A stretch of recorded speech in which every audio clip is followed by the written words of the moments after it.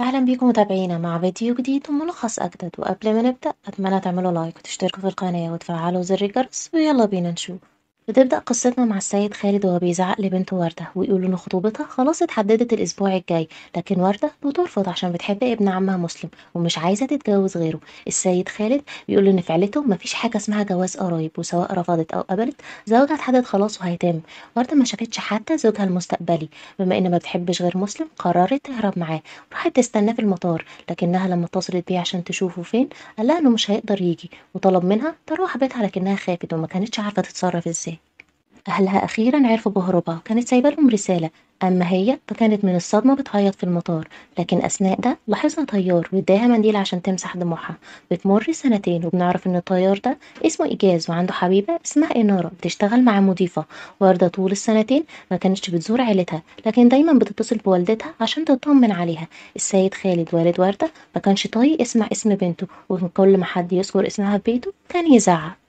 إيجاز كان رايح يركب الأسانسير وساعتها وردة كانت طالعة منه ولما شافها إيجاز مقدرش يشيل عينه من عليها وحس إنه يعرفها. إيجاز روح بيته ووالدته السيدة عفيفة كانت مستنياه وساعتها سألته لو فاضي يوم السبت عشان عايزاه في مشوار. قال لها إن عنده ميعاد مع إنارة فاتضايقت بما إنها مش بتحبها. السيدة عفيفة قالت له هيجرى إيه لو اتقدمت لوردة تاني؟ دي بنت لطيفة مش زي إنارة الخبيثة. لكن إيجاز اتنرفز عليها وقال لها أنت عايزاني أتقدم لها عشان تهرب تاني وتهن عيلتنا قدام الناس زي المرة اللي فاتت.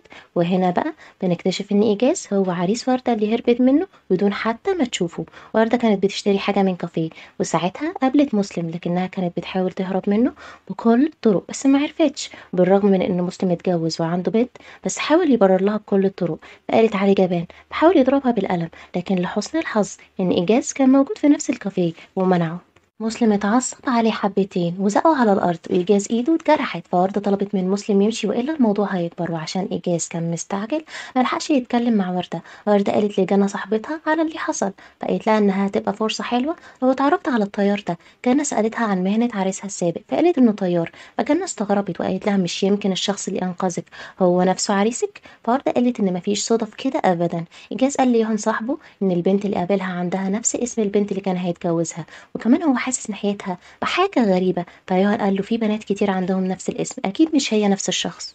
وردة كان عندها رحلة عمل لسيدني لكن جنة حست بوجع في معدتها وراحت الحمام وكمان ميعاد الطيارة اتأجل فأخدت راحتها وسابت وردة تستناها. وساعتها قابلت إيجاز واتكلموا سوا. وعرفت إن هو الطيار اللي هيوصلها سيدني. وعزمها على قهوة. ووقتها اتعرفوا على بعض. وعرف إنها مهندسة. وكان واضح عليه إنه معجب بيها لكن قطع حديثهم ميعاد الطيارة اللي هيفوتهم. طبعا ما ننكرش إن وردة حست بمشاعر ناحيته لدرجة إنها طول الوقت بتتفرج على صوره لحد ما جنة قفشتها. والقدر مصر يجمعهم. جنة مديرها طلب منها تسلم كيكة لصديق ليه في عيد ميلاده لكنها كانت مشغولة جدا ومن البديهي إنها تطلب من وردة. وفعلا وردة راحت جابت الكيك عشان تسلمه لكن المفاجأة إنه كان عيد ميلاد أبو إيجاز. بس المصيبة الأكبر إن السيد خالد أبو وردة وأبو إيجاز أصدقاء مقربين فعزمه هو وعيلته على الحفلة رفيق أخو وردة أخد باله منها بس ما اتكلمش عشان ما يضايقش أخته. لكن الكذب ملوش رجلين والكل أخد باله قبل ما وردة تهرب وتخرج من البيت. مامة وردة كانت فرحانة عشان شافت بنتها أما السيد خالد ما كانش بيبص لبنته حتى. حاليا الكل عرف مين هي وردة وإيجاز عرف حقيقتها بس الغريب إن مامة إيجاز كانت فرحانة بوجودها. أهل وردة روحوا بعد ما رفضت تروح معاهم لأنها لاحظت إن والدها مش حابب وجودها. إيجاز طلب إنه يتكلم معاها وقال لها فعلا العالم صغير. مين كان متخيل إننا كنا هنتجوز من سنتين؟ فقالت إنه موضوع قديم. وانتهى. قال لها هو انتهى بالنسبة لك مش بالنسبة لي لأنك كنتي السبب في إحراج عيلتي. قالت له أنا عمري ما شفتك. كنت متوقع إيه يعني؟ قال لها أنت فاكرة إني متضايق عشان هربتي وسبتيني؟ أنا كل اللي يهمني عيلتي اللي تهانوا وعيلتك كمان على فكرة. فقالت إنها هربت عشان كانت بتحب حد تاني. فسألها هو فين دلوقتي. فقالت إنه اتخلى عنها واتجوز واحدة تانية وعنده بنت دلوقتي. وفي النهاية قالت له إنها غلطانة. ولو كانت تعرف إن كل ده هيحصل ما كانتش عملت كده. مامة إيجاز اقترحت على زوجها إنها تقرب وردة من ابنها فقال لها إن دي حياتهم الخاصة وهم اللي اختاروا وابنها بيحب إنارة بس هي قالت له إنها فعلا مش طايقاها. بدأت خطة السيدة عفيفة والصبح اتصلت بوردة عشان تجيلها البوتيك بتاعها عشان عايزاها في موضوع. وفي البيت عملت نفسها إنها نسيت حاجة مهمة عشان إيجاز يوصلها لها. واتقابلوا الاتنين. بالرغم من شوية الخناق اللي حصل بينهم. مامة إيجاز قالت لها إن بعد يومين أسبوع الموضة. ولسوء الحظ إن في عارضة اعتذرت وهي شايفة إن وردة مناسبة للفستان اللي هي صممته بالرغم من إنها حاولت ترفض بس برضه ما كانتش عايزة تحرج مامة إيجاز. يوم العرض الكل كان بيجهز في وردة وطبعا عشان هي حلوة جدا في واحد من العارضين اسمه دانيال جه عشان يتعرف عليها. من الطبيعي إن إيجاز يكون موجود لأن هو العارض الرئيسي بتاع والدته. وطول الوقت كان بيحاول يضايق وردة ويزود من توترها لكن العرض كان حلو ومر بسلام. مش بسلام قوي بصراحة عشان مامة إيجاز وهي بتقول كلمتها أعلنت قدام الكل إن وردة وإيجاز مخطوبين وبالصدفة إنارة كانت حاضرة الحدث فاتضايقت ومشيت. الخبر انتشر على وسائل الإعلام بسرعة البرق والسيدة عفيفة طلبت من ابنها يوصل وردة وشبه أجبرته وفي طريقهم معدتها وجعتها عشان ما أكلتش حاجة من الصبح وكان واضح على إيجاز إنه خايف عليها فوداها المستشفى ودفع تكاليف الأدوية وقبل ما تنزل من عربيته طلب منها تاكل عشان تتحسن أسرع. إيجاز راح يصالح إنارة بس ما قبلتش منه أي كلام وطلبت تنفصل عنه بما إن ملجأ أسراره هو يوهان راح يقوله فنصحه وقال إن في الأول والآخر القرار قراره سواء اتجوز وردة أو إنارة. وفي النهاية ده قدر وما يعرفش مستخبي إيه. وردة راحت لآلاء توضح لهم سوء التفاهم اللي حصل بس الغريب إن أبوها كان موافق باللي حصل وطلب منها ما تفضحهمش تاني بس قرار وردة هو نفسه وبرضه مش عايزة تتجوز إيجاز فوالدها اتعصب وطردها مسلم شاف الأخبار واتصل بيها بس أول ما سمعت صوته قفلت السكة في وشه إيجاز راح يقابل وردة والاتنين رافضين زواجهم من بعض فاتفقوا إنهم يقنعوا العيلة بقرارهم إيجاز حس بأمل في رجوعه الإنارة فراح عشان يقول لها إنه مش هيتجوز وردة لكنه شاف راجل خارج من شقتها وساعتها عرف إنها بنت سيئة وكرهها وقرر إن هو اللي يسيبها. إيجاز قال لمامته إن إنارة مش كويسة بس المفاجأة إنها كانت عارفة وما كانتش عايزة تقوله عشان فضلت إنه يكتشف بنفسه. كان في جلسة تصوير العارضين ومامة إيجاز طلبت من وردة إنها تحضر والمفروض إن إيجاز هو الشريك بتاعها بس رفض على آخر لحظة والسيدة عفيفة ما لقتش حل غير إنها تجيب دانيال بس لما إيجاز شافه اتضايق وكان غيران من حركاته مع وردة وقربه منها. دانيال عزم وردة على العشاء وإيجاز أول ما سمع كده زي ما يكون اتجنن وكانت لسه هتركب مع دانيال العربية شدها وزعق وقال لها إنه مش موافق تروح معاه. فاستغربت وقالت له أنت مالك؟ وأول ما الكل بدأ يتلم ومامة إيجاز خرجت بدون سابق إنذار. إيجاز قال لمامته إنه عايز يتجوز وردة. إيجاز ما اداش أي اهتمام لوردة وقال لمامته أنا هسلمك كل مهام زفافي ولو حابة تعمليه السنة دي أنا برضو ما عنديش مشكلة. ووردة من الصدمة ما نطقتش. مامته سألته أنت متأكد من قرارك؟ وبدون تردد قال لها آه. قالت له يعني أنت مش بتعمل كده. عشان غيران على وردة؟ لا أكيد غيران.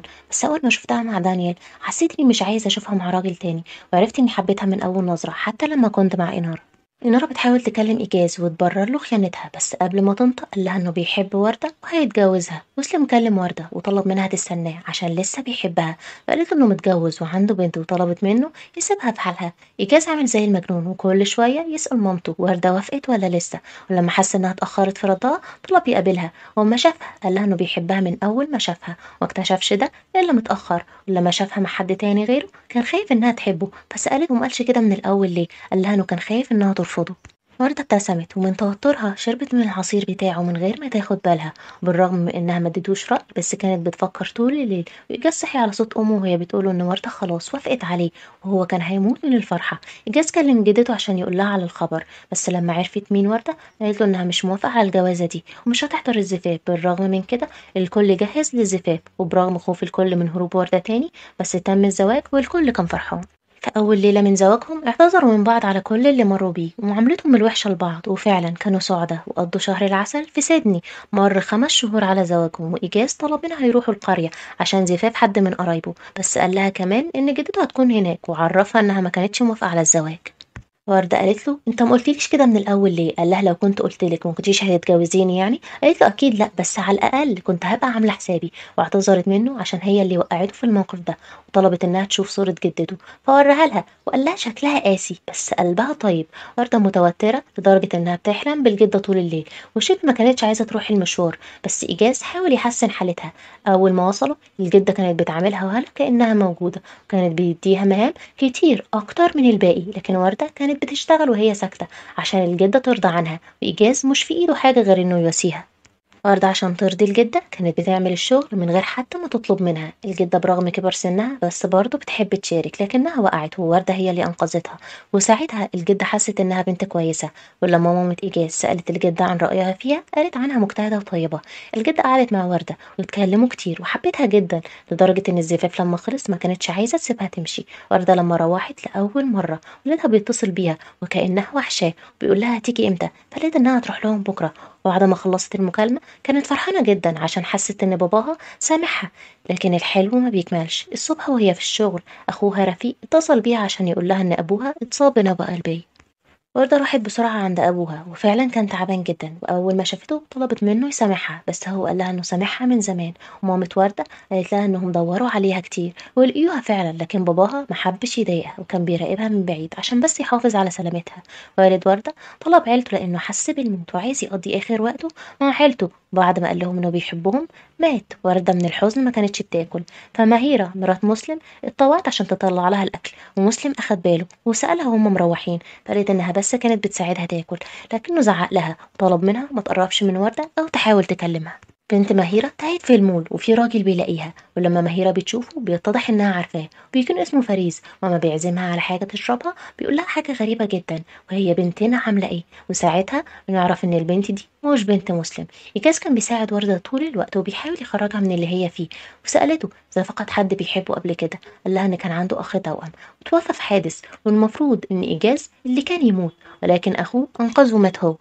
مهيرة أخدت الإذن من مسلم عشان تخرج وقالت له إنها خارجة مع صاحبتها بس كذبت عليه لأنها راحت تقابل فريز بس حبل الكذب قصير لأن مسلم شافها واتصل بيها وهي قاعدة عشان يديها فرصة تقول الحقيقة لكنها برضه كذبت فصورها وأما روحوا واجهها بالحقيقة مسلم قال عنها خاينة بس من بجاحتها قالت إن هو اللي خاين عشان طول السنتين ما كانش شايف غير وردة وعمره ما حبها بس قال لها إن حلهم الطلاق وبكل الأحوال واضح عليها إنها رجعت لوالد البنت الحقيقي وهنا كانت الصدمة لأن مسلم كان عارف إن البنت مش بنته لكن في النهاية طلقها.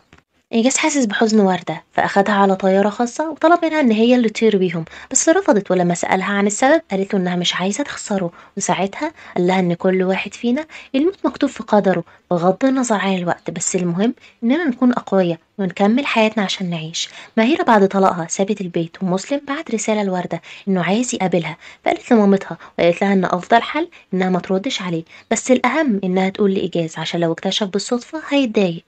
مهيرة كانت قاعدة مع فارس في مطعم وإنارة وصحابها كانوا هناك وبما إن مهيرة كانت مضيفة فهم يعرفوها وعرفوا إنها اتطلقت من زوجها وعرفوا كمان إن زوجها هو ابن عم وردة وسابها عشان بيحب بنت عمه. إنارة تسكت لأ طبعا تبتسم بشر كده وتفكر في خطة عشان توقع الدنيا في بعضها. مامة وردة كانت بتزور والد مسلم عشان تشكره لأنه متولي أمور الشركة بعد وفاة أخوه ولما كانت مروحة مسلم وصلها. وبالصدفة كانت رايحة لوردة ومن البديهي إنهم يعزموه يدخل. إيجاز ومسلم واضح إنهم مش حابين بعض. مش بس كده مسلم قال لإيجاز إنه طلق مهيرة ودلوقتي هيرجع حبه وقال إن وردة هي حبه الأول وأكيد لسه ما نسيتهوش. إيجاز مسك أعصابه لأن مسلم في بيته بس قال لوردة على اللي حصل. فضحكت وقالت له إنه مستحيل حد يبعدها عنه. إنارة بدأت في خطتها واتصلت بوردة تقول لها إنها هتدمر العيلة اللي بنتها وكمان قابلت مهيرة عشان تتفق معاها على خطة ترجع لها بيها مسلم. مهيرة اتصلت بوردة عشان تقابلها بالرغم من إن وردة كانت مترددة بس قابلتها وبدأت مهيرة تحكي قصتها الكاملة مع مسلم وتقول إنها بتحبه بقالها ثلاث سنين لكنه ما كانش شايف غير وردة فقررت تعمل عليه خطة وجابته بيتها وحطت له حاجة في المشروب فالجيران أخدوا بالهم بما إن العيلة خافت من الفضيحة قرروا يجوزوهم. مسلم ساعتها كان رافض يتجوزها بس ضغط عيلته كان أقوى وده كان السبب اللي خلاه يسيب وردة. ده غير إن بنتها مش بنته. وردة من الصدمة كانت عاجزة عن التعبير وقالت لها إنها كانت السبب في فراقها عن عيلتها لأكتر من سنتين وكمان بسببها حبها ضاع منها وكل الفترة دي كانت فاكرة إن مسلم خانها. وردة راحت لبيت أهلها عشان تجيب ذكرياتها مع مسلم وبدأت تفتكر ذكرياتها معاه. بس لما إجاز شاف الصندوق كان عنده فضول يعرف اللي جواه لأنه لما سأل وردة قالت له إنه مش مهم. بالليل إيجاز شاف اللي في الصندوق وكان متضايق والصبح سأل وردة لو مخبية عليه حاجة فقالت له لأ فعزمها على العشاء بره عشان يسألها تاني لكنها برضه قالت لأ إيجاز قال لها إنه شاف الصندوق وعرف اللي جواه فحكت له وردة عن الحديث اللي دار بينها وبين مهيرة فقال لها معنى كده إنك عايزة ترجعي له فقالت إنها مش بتفكر كده هي بس عرفت إنها ظلمته أما روحوا إيجاز جاب الصندوق وطلب منها تثبت حسن نواياها وتحرقه وردة بعد ما سمعت كلام إيجاز وشافت غيرته عليها ضحكت وأخدت منه الصندوق ورميته كله في حمام السباحة. دخلت على أوضتها وهي زعلانة لكن إيجاز عمل المستحيل عشان يصالحها. فاكرين دانيال الشاب الموديل اللي كان معجب بوردة؟ كان في صحفي بيعمل معاه لقاء وسأله عن حكاياته في الحب فقال له إنه فعلا بيحب بنت بس ما تعرفش بحبه ليها وكمان متجوزة من شخص تاني. إنارة لسه بتفكر في خطة جديدة ولما شافت مقابلة دانيال استنتجت من كلامه إنه بيتكلم عن وردة. عشان كده ما لقيتش أحسن منه عشان تنفذ خطتها معاه. وتشاء الأقدار إن مامة إيجاز تطلب من وردة إنها تعمل جلسة تصوير مع دانيال وساعتها بيستغل الفرصة ويقرب من وردة بطريقة زيادة عن اللزوم. وكل ده إيجاز بيتفرج لكنه ما قدرش يمسك نفسه وكان هيضرب دانيال وطلب من والدته إنها تلغي جلسة التصوير. وردة جمعت بين إيجاز ودانيال عشان يحلوا سوء التفاهم لكن ودانيال في طريقه للجراج عشان يروح بيتفاجئ إن عربيته مكسورة وفيها رسالة تهديد عشان يبعد عن وردة. بما إن دانيال موديل فالخبر انتشر في الصحف فأول واحد تشك فيه وردة كان إيجاز وبالرغم من إنه قال لها إنه ما يعرفش حاجة بس ما صدقتوش وراحت تشتكي الجنة منه. بس قالت لها إن إيجاز بيغير زيادة عن اللزوم لكن مستحيل يعمل كده. وكمان هي شاكة إن مسلم هو اللي عمل كده بس وردة استغربت وقالت إن مسلم ما يعرفش دانيال أصلا. دانيال مش عارف يبوظ علاقة وردة وإيجاز فاتصل بيها وقال لها إنه عايز يودعها عشان مسافر للأبد لكن وردة سألته عن مكانه عشان تتكلم معاه فطلب منها تجيله بيته فراحت له لكنها ما كانتش عايزة تدخل وطلبت منه إنهم يتكلموا بره بس دانيال رفض وعرف يقنعها إنها تدخل.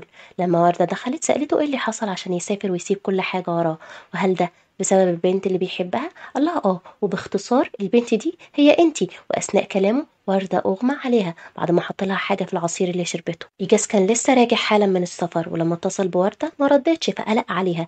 أما وردة لما صحيت استغربت وسألت دانيال عن اللي بيحصل فقال لها إنه خاطفها لأنه بيحبها ومجنون بيها كمان. ومشكلته هي إيجاز وعايزها تسيبه ولما بدأ يقرب منها كان إيجاز وصل وأنقذها. إيجاز أخد دانيال على مركز الشرطة ولما روح هو وردة ما اتكلمش معاها أبدا ما كانش مديها أي اهتمام. دي حتى لما صحيت الصبح ما لقيتهوش جنبها وراح يقعد عند مامته. فسألته إمتى هيعامل وردة بالطريقة دي. قال لها انه نصحها أكتر من مرة. وقال لها إن دانيال شخص سيء وبالرغم من كده راحت له بيته. مسلم عرف إن وردة كانت مخطوفة فاتصل بيها عشان يطمن لكنه وقع بلسانه وقال لها إنه حذره. إزاي يعمل كده؟ فوردة قالت له يعني أنت اللي كسرت عربيته وسبت له الرسالة. قال لها آه. وساعتها وردة بتكتشف إنها ظلمت إيجاز. وردة حاسة بالذنب ناحية زوجها واعتذرت له كتير. فقال لها بغض النظر عن غضبي ناحيتك بس أنت في الآخر زوجتي اللي بحبها. ولما روحوا صلوا سوا عشان يشكروا ربنا على سلامتها. وسألته هو عرف إزاي مكانها. قال لها بما إنه بيسافر كتير عين حارس يراقبها.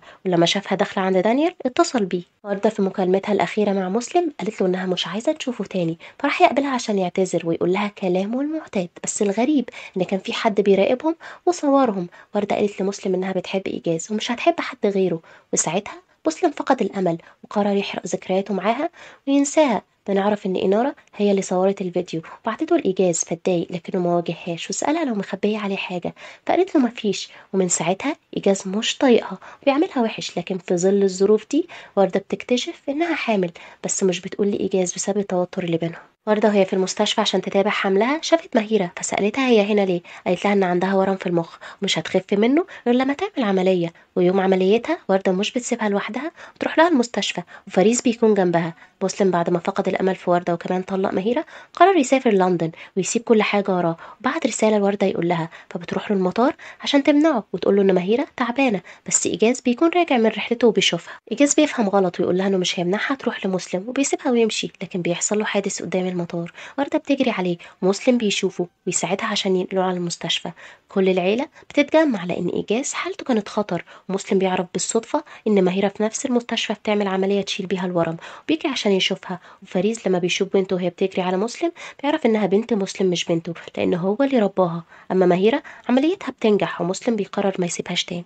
إيجاز حصل له شلل في رجله والدكتور بيقول لهم إنه مش هيقدر يشتغل مهنته بعد كده. ممكن يخف بالعلاج الطبيعي أو العملية بس لو فشلت هيفضل مشلول مدى الحياة.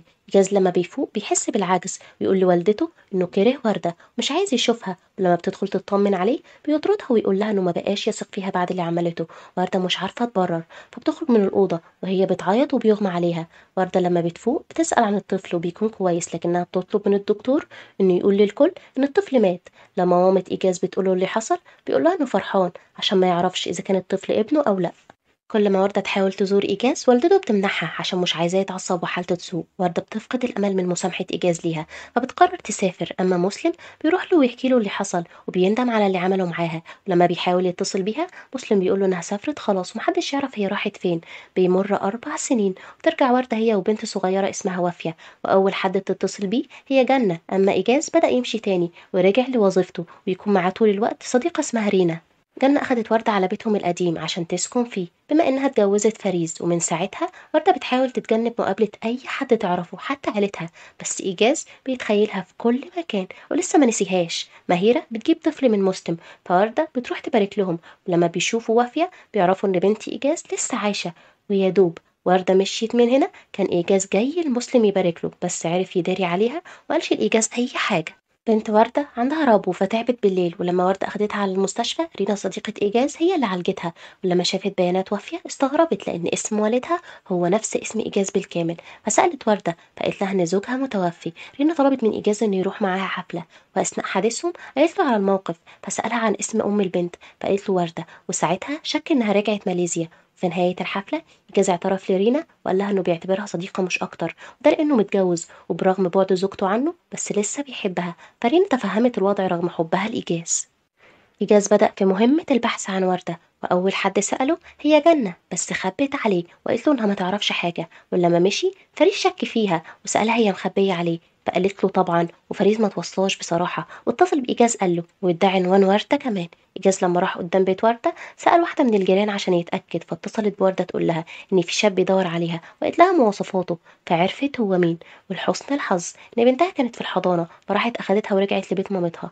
أما إيجاز استناها طول الليل بس ما رجعتش. والد إيجاز اقترح عليه يروح لها بيت مامتها وعمل كده فعلا. وأول حد شافه هي وافية بس ما يعرفش إنها بنته. ولما شاف وردة لقى مين البنت اللي بتقولك ماما دي؟ قالت له بنتك. فاتضايق لكن وردة طلبت الطلاق. فقال لها لو طلقتك هاخد بنتي لأن القانون يسمح لي بكده إيجاز عرض عليها اتفاق. يا إما ترجع له ويعيشوا في سلام أو لو عايزة تتطلق. تمام بس هياخد البنت منها. واداها مهلة شهر تفكر. إيجاز عمل كده عشان ترجع له مش عشان يبتزها. إيمي أخت إيجاز قابلت رينا وعرفت إنها تخلت عن حبها لإيجاز بس إيمي شجعتها وقالت لها إنها ما بقتش تعتبر وردة زوجة أخوها لأنها كانت السبب في معاناته وعزمتها على حلقة قرآنية العيلة هتعملها آخر الأسبوع وقالت لها إنها فرصة مناسبة عشان تقرب من إيجاز. مامة إيجاز عزمت وردة وعيلتها عشان تقربهم من بعض وفعلا راحت ولما السيدة عفيفة شافت وافية حفيدتها كانت طايرة من الفرحة لكن إيمي كانت بتتعامل مع وردة بقلة ذوق واحترام.